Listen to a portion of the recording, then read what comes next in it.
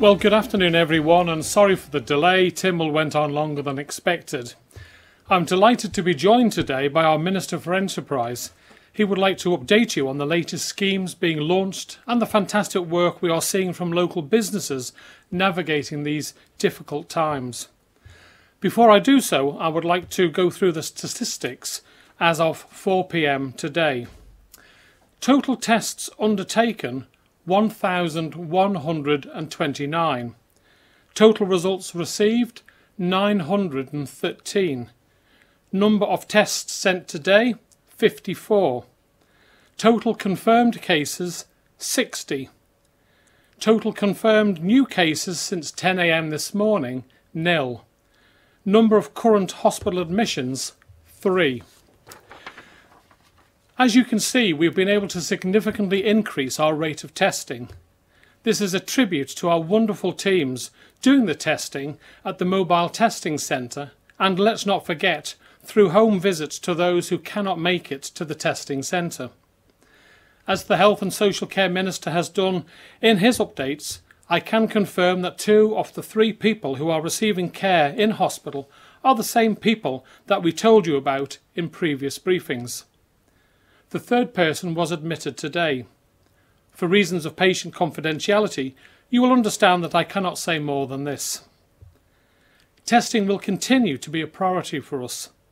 I chaired a meeting of our National Strategy Group this morning and was encouraged to hear that our on island testing facility is still on course to be up and running in a couple of weeks. This, like so much at the moment, has been a great team effort and I know the Health and Social Care Minister will be keen to update you on this soon. But today I would like to focus our briefing on what we are doing to support our businesses and our workforce. Yesterday we heard from the Treasury Minister about the work he and his team are doing. The Department of Enterprise played an important role in this. Also, listening to our industries on the island and informing the Treasury's work and I am grateful for the Department of Enterprise team. I'll now hand over to Minister Skelly to give you an update. Thank you, Laurence.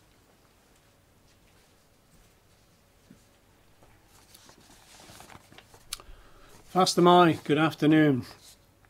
Resilience is a word we use quite a lot in the business community and the Isle of Man. We talk about the resilience of our infrastructure, our products and services and our ability to respond quickly and effectively to changes beyond our control. We have a long and proud history of demonstrating this strength and keen ability to adapt and survive, and yet never before have I seen the island's resilience put to a test as such as now. Since the onset of this pandemic, I have seen our robust economy and thriving business community face a series of extraordinary challenges. And yet, we are still finding wonderful examples of strength and resilience. We are finding it in the evolution of business models, the acceptance of new ways of working, the challenge of making do with less, and the dedication of our employees in the face of unprecedented change.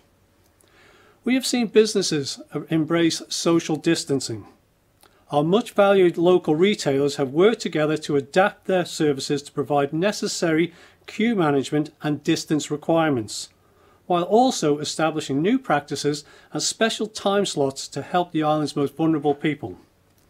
Local digital company Dot Performance have not only adapted their entire workforce to work from home, they have also offered numerous projects and ways of helping government with their unique technology. I have been astounded by the speed and skill of our local hospitality industry with many restaurants and pubs quickly implementing takeaway options, with some putting in place special delivery for the elderly and the vulnerable. We have seen huge swaths of our economy working from home, doing a fantastic job of continuing businesses as usual in an unrecognisable work environment. The vast majority of our finance, professional services, ICT and e-gaming sectors are all predominantly working in this space some companies delivering their services with 99% of their staff at home. We have seen businesses adapt their entire operating models, not only for their survival, but, but to provide important services to our community. local company Fynoderee have turned their hand from gin production to produce alcohol-based san, san, hand sanitizer to donate to our health colleagues. Social innovation at its best. Some of our fitness providers have taken to loaning out equipment and running online sessions to keep us all active and healthy during this time. Microgaming have been working with a local catering company to help prepare meals to, for donation for the benefit of needs in the, in the community. We've also seen a number of local businesses come together to support the Manx Solidarity Fund. This includes Barclays, KPMG, PokerStars, just to name a few, and more joining every day. And all our key utility providers have agreed that no one will be cut off or stranded as a result of losing their job or having reduced income due to this pandemic. Where working from home is simply impossible, we have seen thousands of our workers show real strength and commendable common sense in continuing to deliver essential services for our island. I am very proud of the local manufacturing businesses who have sprung into action to help service the growing demand for medical supplies around the world. Local companies Swagelok, Moynahans, Janties, Strix, RLC Group, Cortec and Hanson Ceramics have all been turning their expertise to designing and producing essential medical equipment to fight COVID-19. These are just a few examples of innovation and strength being shown by local companies and workers each and every day. Our businesses have been deeply disrupted by the far-reaching and necessary measures we have implemented as a society. Important sections of our economy have been asked to close and we are doing all we can as a government and a society to enable their survival. The Department for Enterprise and Treasury have been working around the clock to provide essential funding and support for businesses and individuals who are most need of this help. We have already brought into action the Business Adaptation Grant for those companies who wish to evolve their business model during this time. We have temporarily suspended the requirement of a work permit, allowing any resident worker to freely take up alternative employment and we have continued to deliver a range of schemes through our enterprise support scheme, issue many payments to help ease the financial burden at this time. Today we are launching initial payments for our strategic capacity scheme to bring essential financial support to sectors of strategic importance that have been radically impacted by the, this pandemic. The scheme is initially open to those operating in the tourism accommodation sector to help them put their fares in order and keep their business intact during this extended period of no income. We recognise that recovery will take a long time for this industry. With consumer confidence and booking lead times set to return gradually once the pandemic is firmly under control we will continue to review and consider providing further support in future. As Minister Cannan said yesterday, we are in a fight to save lives, but we are also in a fight to protect our economy and save jobs. We recently launched the, the, the uh, business support scheme to give direct grant support to some of the most effective areas. Since the launch, the scheme has received over 1,000 applications from businesses in need of emergency funding and processed over 400 so far. Through close collaboration with industry and Treasury, we have modified the scheme over the last couple of weeks to make it more accessible to some of our hardest hit sectors. We have also continued to work with the Islands Bank, all the banks, to clear, uh, give clear guidelines around the new Isle of Man Disruption Loan Guarantee Scheme. The scheme has been introduced in, in response to the financial challenges facing local businesses as a result of this pandemic. And we will see the Islands Commercial Bank supporting up to £60 million of new lending, of which 80% will be underwritten by the Isle of Man Government. The scheme will be initially implemented by HSBC, Lloyds, Barclays, Isle of Man Bank and Conister Bank who are continually supporting the local community and their customers. More broadly, the resilience of the island's infrastructure has been tested. Our suppliers have been working exceptionally hard to ensure that much needed food, medicine and necessities continue to reach our island. I am grateful to our logistic suppliers. our transport partners and our retailers. And, and as Andrew Corrie said yesterday from the Manx Co-op, these employees now become true frontline services for us all. We have all been profoundly affected. We will all be forever changed, and we will remain firmly open as a government and engaged and as a community. Never before has the Manx motto rang true. Quocunque, Jeceris, Stabit, whichever way thrown, we will stand. We are Manx, we are proud, we are innovative, and we are resilient. Good amide. I'll now pass it back to Chief Minister.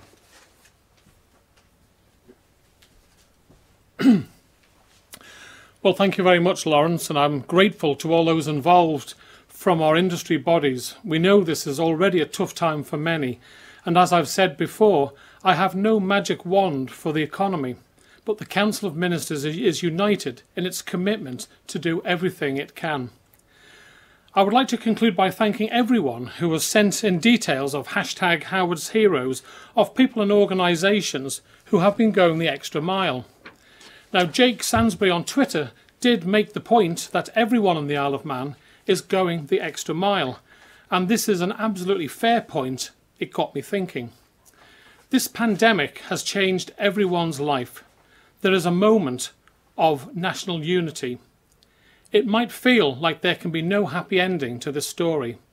As I've said on numerous occasions, we have a long journey ahead of us and we need to face the fact that we will certainly lose lives to this horrid virus. But there will be an end, and working together as a nation is how we will get there. I am proud of what I've seen so far. Please keep it up. The point of Howard's Heroes was not to say that anyone else's contribution was better than everyone else's. I did want you all to see some of the incredible selfless acts, many of which slip under the radar. There have been dozens of amazing examples. There will be many more shout outs over the coming days. But three that have caught my eye today have been Ramsey Rugby Club. Now, as a Peel and Western Vikings player back in the day, it doesn't come easy for me to praise Ramsey Rugby Club but joking apart, they deserve a shout out.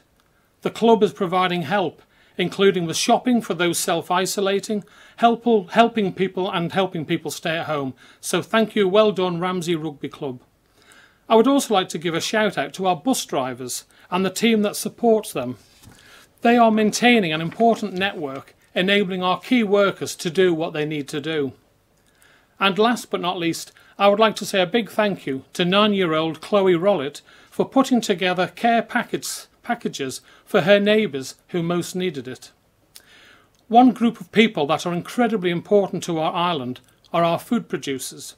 We have invited some of them to talk tomorrow to you about how they continue to provide our essentials. The Enterprise Minister and myself will now take questions.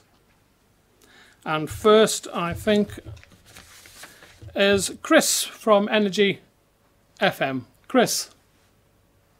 Good afternoon, Chief Minister. Uh, I'm glad you mentioned the bus drivers um, because I have a question uh, regarding public transport. Will it be placed on a revised schedule or receive any additional support to combat the low passenger numbers at the moment?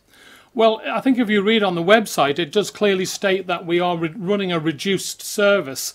So um, that's what people need to see the, the reduced service because you're quite right, Chris. The numbers of people using it have significantly reduced for obvious reasons.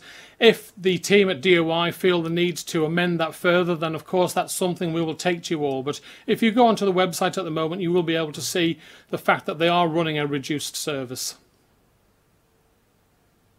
Uh, the number of cases has now gone past 50 with 11 positive tests coming back today alone. How will preventative measures be increased should we see a sharp rise in the number of confirmed cases on the island? Well, really, that's up to the medics. We, we take medical advice on, on the way forward. A number of the decisions, whilst it's myself and the Council of Ministers that have made the decisions, supported by Tynwald, it is based on sound medical advice. So, if the medics feel that further actions are needed to be taken, then we will, of course, listen. But at this moment in time, um, I'm not overly concerned that we've had an increase to today. Um, it's it's to be expected. Let's see what it's like in a week or two's time. Next, Thank you. Next, thank you very much, Chris. Next, we have Leanne from 3FM. Good afternoon, Leanne. Hi, hi, Chief Minister. Hope you're well. My first question, um, it would ideally be to the Health Minister, but I know he's not talking today, so I'm not sure if you know the answer, but I'll ask anyway. Um, I'd like to know how does someone find out if they've recovered from coronavirus? Are they tested again to find out if the results come back negative? Yes, well, what I'm led to believe, and, and obviously the health minister isn't here today, we've got to give him a, a day off too, um, is that all people are now being texted with the with the results of whether they're negative or, or positive. If that's any any different in any way, shape or form, I will see that. I think Minister Boot is going to be here tomorrow to give an update, and I'll see that he gets that in his um, briefing to you all. Okay, and secondly, we've had quite a few queries from the general public about university students and the assistance for them. Obviously, studies are cancelled for the time being, but some people are wondering how parents or students are going to pay tuition or rent if they're unable to work.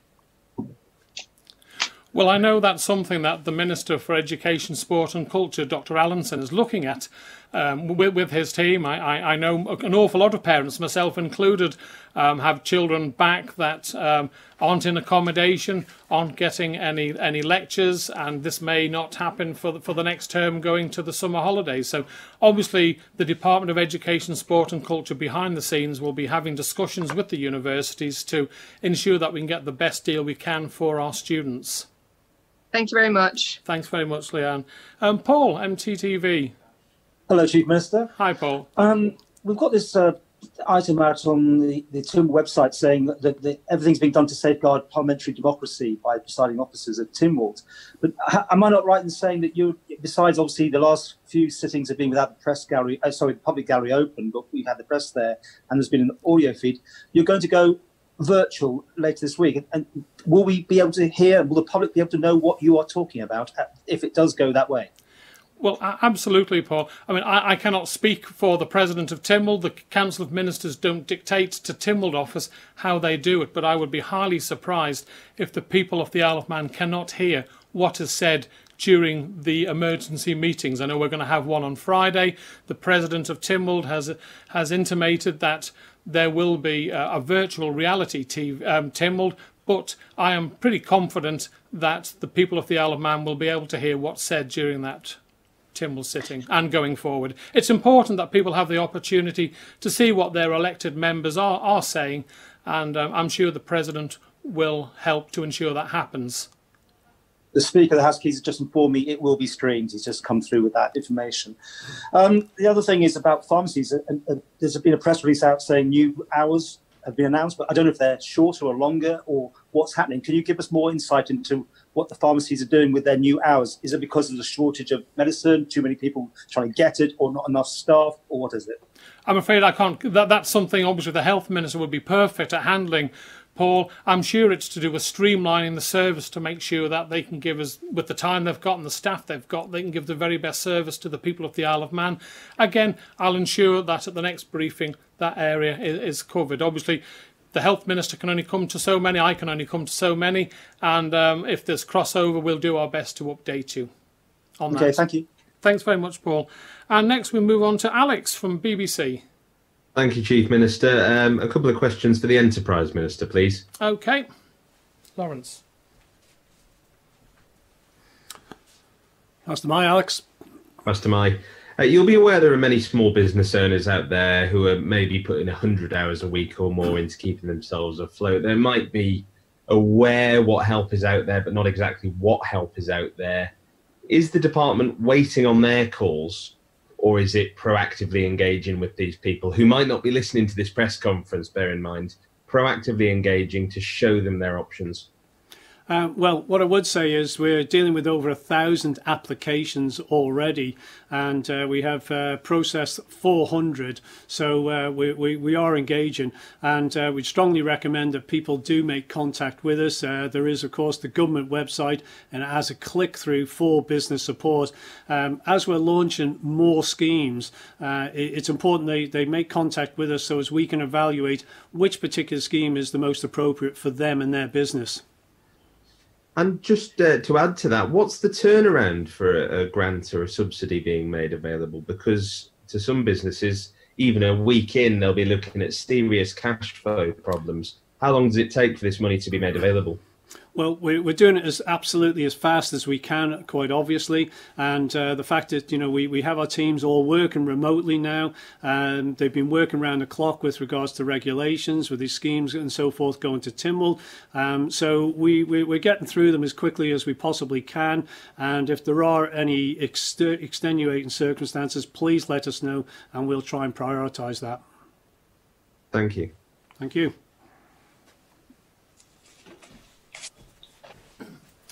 Thanks very much, Laurence. And if I can just add there, obviously we're, going to do as, as quickly as we can to get the support out there to the businesses that need it. But please bear in mind that our, our our friends in the United Kingdom, we're hearing stories of picking up the phone and being told you're 90,000 in the queue and your slot is 3.30 in the morning. So obviously on the Isle of Man, there's less of us. We'll do our absolute utmost to ensure that doesn't happen to the businesses on the Isle of Man. But please realise that it's not going to be a, a 24 hour turnaround where you get the payment. It's going to be as soon as we, we humanly can do it. Um, so next we have Jess from Isle of Man Newspapers. Jess. Hello, Chief Minister. Hi, Jess.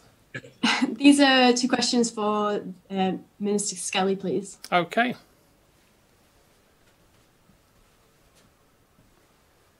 That's my Jess. Hello. Um, so obviously we know that the tourism industry has ha- had a huge hit due to coronavirus, but I'm wondering if you can give us a bit of a bigger picture of the scale of impact in terms of cancelled bookings, um, hotel guests being paid back, that sort of thing. Yeah, uh, good question. And uh, this is the industry I think that was first hit um, we, of course, been living through the promenade issue where we've got 70% of our hotel bed space on the promenade. So they've been dealing with that. Uh, the Flybe issue uh, obviously accelerated, and now, of course, we've had the, uh, the, the coronavirus. So this is an industry that has been severely impacted, but it's also an industry that we would recognise is going to take some time to recover. So today we've uh, launched this uh, capacity um, strategic capacity scheme to try and aid and support them. Uh, there is, of course, the worker scheme where they can furlong already, which which is uh, which is available to, to them. So now launching this capacity uh, scheme, it allows them to actually make some more informed uh, decisions of how they manage the, the mothballing aspect of, of their of their businesses. That being the uh, the hotels and the self catering uh, accommodation providers on the island. Thank you. And uh, the second question is, well, you you touched upon some industries going through tough times, such as tourism. I'm wondering if you can clarify which industries are particularly struggling, um, and how your department is planning on supporting them after this pandemic. Right, thank you, thank you for that. Um, that I think the tourism one was the first one that's been hit uh, uh, most significantly and the longest period. I, I, would suggest at this time, and likely to be a longer period. So uh, they're, they're, really quite unique. Um, but there are it, it, it, there's a lot of domestic economy industries. The, the, the hospitality industry, of course, has been severely impacted as well. And we have tried to address, I think, the self-employed, the small business, uh, very swiftly by amending some of our schemes to get that support to them. But going forward, uh, we do have one of those schemes, which is really um, repurposing an existing scheme, and that is what we call our adaptation grant. So we've mentioned there with regards to manufacturing uh, businesses who are already uh, repurposing their business to uh, apply themselves towards the uh, medical supply chain, and we've got some great, great stories of those uh, those businesses here on the Isle of Man being innovative. But we do have support grants for those those businesses as they as they go forward. So so we're we're, we're here through the crisis, but we're here actually for the recovery as well at the same time. Hope that's helpful. Thank you. All right, I'll pass it back to Chief Minister. Thanks very much, Laurence, for that. And next we have Tim from Manx Radio. Tim. Fast am I, Chief Minister. Fast am I, Tim. Um, it's fantastic, as you say rightly as well, to see all these manufacturing businesses who have the development of these uh, diving face masks and such ingenuity in a short space of time applied. Um, we've heard garden centres across, and I guess it's the case here, are maybe having to bin many crops they're growing, you know, plants and trees. It is the growing season. It's also the growing season for agriculture. Um, and they need help as well. Um, could those plants and trees be transferred to the agricultural sector, to the farmers? And could we see volunteers, maybe students, helping out uh, farmers? And uh, of course, they need a bit of rain as well. You may not have noticed with all the meetings you've been in, but it's been very, very dry. Yes, I think the, the forecast for the rest of the week is no rain too, Tim, isn't it? Um, I think we are allowing garden centres to do deliveries on, on, certain things. So whilst you can't go there to buy, they, they can do a delivery. I mean, obviously you're going to have Minister Boot and his um, in in tomorrow to give an update. That's something I'll certainly pass on to him to see what the um, you know the could that happen. But um, I should imagine an awful lot of what the garden centres are growing aren't going to be much use to to farmers. I'm sure some of my farming friends would love to see a load of um, flowers in their fields, but it's uh, you know who knows. There might be some market gardeners who might be able to take up on that offer, Tim. And of course, I will um, pass that comment on to uh, Minister Boot and his team to see if there's any uh, elements where we can work together. Because quite right, we have to think outside the box on this. And uh, finally, uh, it got quite heated in Tynwald this afternoon. In fact, I think it's the most uh, impassioned I've ever heard you in the uh, court there. And it was, of course, over Ireland residents' court overseas. Do, do, you feel really that you're just caught between the devil and the blue sea, or deep blue sea on this one? Well, yes, I suppose to an extent, Tim, I, I do. My job as Chief Minister is to look after the health of everyone on the Isle of Man and save as many lives as possible. And that's what I'm doing my utmost with the Council of Ministers to do. And some pretty horrible decisions have had to be made by myself and, and the team that we wouldn't want to make. But when your medics advise you that you must close the borders to save lives, to stop the spread of the coronavirus around the Isle of Man, then I think it would be a very foolish Chief Minister that didn't listen to them. I listened to what our medics had to say and I took action. I took that action for the 84, nearly 85,000 people that were living on the Isle of Man. Now, of course, my heart goes out to those people who find themselves isolated from the Isle of Man. We've worked with the Foreign Office to ensure that the 80 plus people who are in far flung corners of the world when the UK are doing their flights to repatriate them, then Manx residents will be entitled to get on those flights. So we've been working on this.